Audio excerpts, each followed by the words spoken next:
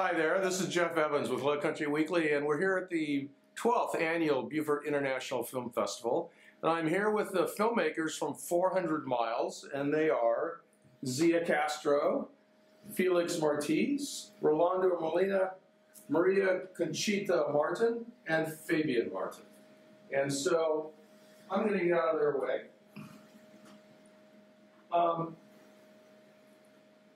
tell me a little bit about the film. This is a father-son film, and it's um, it's a short, but it's it's got some some depth and pathos in it. You want to talk to me a little bit about that? Absolutely, I'm gonna let the writers tell you that. Okay. Uh, well, basically, the, the film is, as you said, about uh, the relationship, the strange relationship between the father and the son. Uh, and the seed of the story came from my wife here, uh, and uh, basically it chronicles a, a, a son's journey uh, back home, reluctantly to see his father, who's who's dying. along the way, along the journey, the, the 400 miles track back home, he comes across a, a a few different characters who uh, tr- uh, trigger memories of his relationship with his father, and it all culminates in this big uh, emotional ending, which I do not want to disclose right now. But I'll let my wife kind of talk about the seed of the story.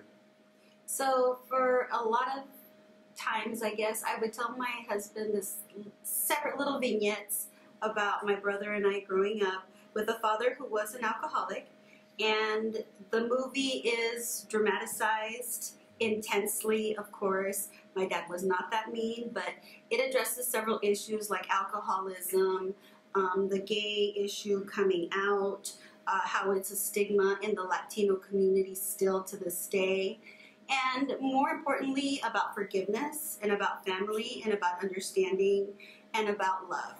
So that's where the seed came for the movie.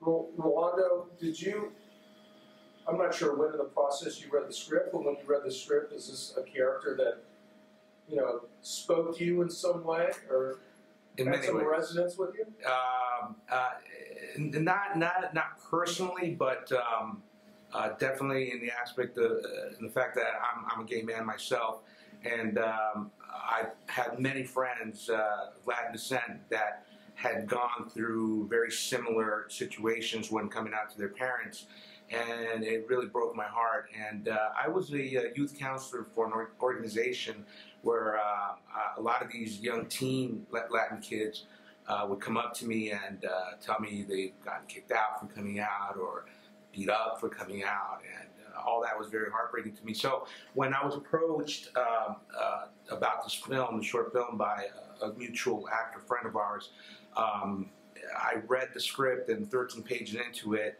uh, I called them in tears and said that I'm in. I'm definitely in. Um, every time that uh, I think that my performance is very organic and very natural because all I kept thinking about was those poor kids that have gone through this. And me myself, I was very fortunate. My parents, uh, uh, you know, they, they, it was difficult for them at first because you know, of course, Latin parents like Maria said, it's been a stigma in the Latin community for many, many years because of religion and whatnot. Uh, but um, uh, it really uh, resonated with me, you know, uh, with these kids having to go through everything that they've gone through. So the performance came out naturally, you know, and the emotional part of it. Every time I watch it, and I watched it over a dozen times already over so many film festivals and whatnot, um, and every time that uh, I go to one of these film festivals, I have people come up to me afterwards and tell me, "God damn it, we hated you in the beginning, but at the end, you just had us in tears." And you know, thank you. And, and then, you know, I some some kids come up to me and say, "Thank you for doing this film because uh, you know uh, it reminded me of my father." And uh, that's I don't want to get emotional. but you know, moments like that is what makes it all worthwhile, and uh, and it, it, was definitely a passion project for me and for all of us involved. I think so. Yeah. Zia, you were the co-producer, but also you did the casting. So, did you have a hard time finding actors to, to do this? The ones that you you know people that you were looking for to yes. to fill a specific role. Yeah. Um, so we had kind of there were a few different struggles with casting. One was we we kind of we were representing a family. We kind of want to make sure that they actually look alike, or you know, could be potentially family.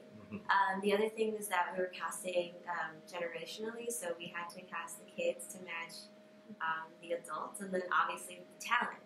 And in some regards, um, finding, especially like kid actors, we were blessed to find Giselle, but for the role of the main character, um, we we struggled a little bit casting the the child for that, um, and you know we would go back and forth about it. It was kind of a you know communal collective process, and uh, we all had strong opinions. Um, but I remember when we found Peter. Uh, Cortez. Yes, Peter Cortez. He like I was like, that's the one. And you know, there's a lot of skepticism, but um, like I think that you know, I, I saw something that he did, um, and he just owned this. He was in a scene with an, an adult or a few adults, and he owned it. Like Yeah. he was just, it was all about him, and and because the character has gravity, we really needed that. Uh, we needed someone that could own every scene, um, and that's that's what he did. And we were also blessed to have Giselle, which is the other um, child actor, and um, we actually casted for her. We casted the reverse because we had Eddie to play the adults, and we cast Peter. And when it came to Giselle, she was such a standout. We were working to find someone that could potentially be her. Wow, Felix, this is not your first trip to Beaufort. Uh, I think I passed by here. no, I mean, you've been here, what, five, six film festivals? I think it's five. Yeah. Been here And, present for. and been, you know, an award winner in different categories, you know, won a directorial award, um, a number of other things. And so, talk a little bit about this film and some of the challenges you had, and, and you know, if it, if it, if the final product kind of met what your vision of it was when you started. I came into the project um, as, a, as a hired gun to a certain degree at first. You know, they had they had a couple of directors beforehand um, that were particularly to do it, and then when they approached me to come on board, uh, you know, talking to Fabian and, and, and believing in Fabian, I've seen his films in the past, and him and Victor are, are friends, and I definitely whenever I see somebody very passionate about a project, about, about a script I find it as a as as an artist, if I could help in any kind of way, if I could do whatever it needs to happen to make you know it possible to come alive, I will I will do that. And in this case, uh, I think we just need a little bit of push and encouragement because these guys were there. Rolando had been involved in the project for such a long time. You know, the writers, Maria and Fabian, of course, it's their baby. So it's my job to help, you know, feed that baby a little more so he gets stronger and, and better, and, and all see him grow up together. And, and the way that happened, mean, it was, it very beautiful. The story, I, I think, was very strong and resonates. The, the father son stories always. It's funny enough, funny enough, I love father son stories. I, don't think I've written one yet. and, you know, so thanks to Fabian, I got to finally uh, direct one of those movies that, that I'm very fond of.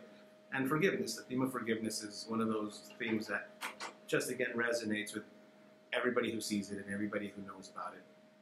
So it's a it's a project that I think at the end of the day I'm just very proud of. Uh, Is that why you made me do maybe about 13 takes of that last scene I where I hope we had enough time to when, tell when I was in, in the hospital. You know, you know, 13, maybe 14 different takes. I we used 14.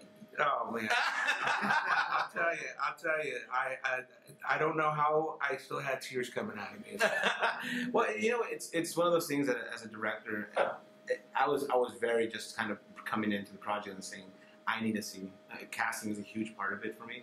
You know, we cast uh, more than talent, I want because I've worked with a lot of non act non non trained non professional actors uh, in the sense of I'm casting because it's something that they have a soul and they have the character soul within them that I know I can get out. So in this case, you know, coming in with Rolando and so involved with the project, it was one of those things where I'm like, okay, you know this character through and through.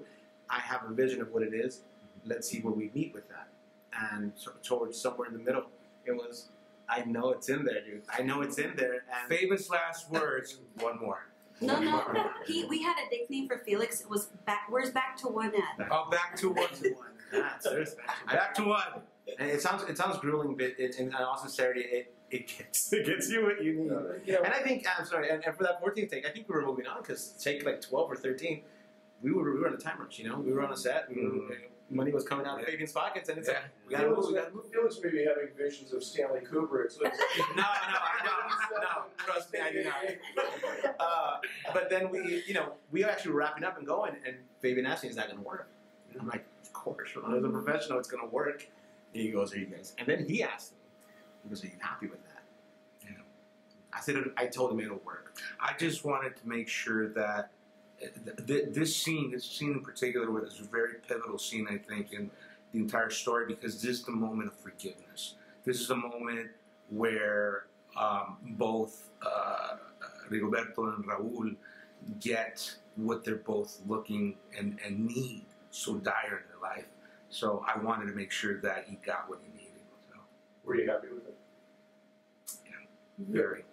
Thank you, Paul. I, you know, the folks in Beaufort hope your film thrives, not only here, but, you know, wherever you guys go next. Thank Thank you. Thank you. you for having me. For the, for the people that are new here, welcome to town, and, Thank you. um, Thank you. Hope you Felix and Zia, you know, we'll see you next year. Um, by the way, Your sweet tea. So I need. I need the secret because I've had sweet tea in California. That's not sweet tea. This It loses tea. something in the travel. I, I think it's something in the air, the water. I don't know, but or the tea leaves themselves, or everything combined. I don't know, but I We love will, um, we will text you the recipe. it. Awesome. Thanks all. Thank you. Thank you.